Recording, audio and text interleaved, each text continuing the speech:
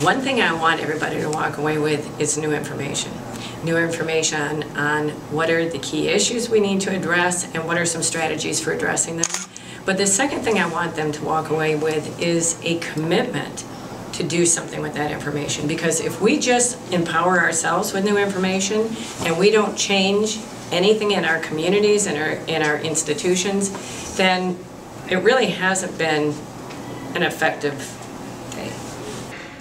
We will not change unless we are intentional and we create an individual strategy, we create a dashboard for ourselves, and we have somebody to hold us accountable.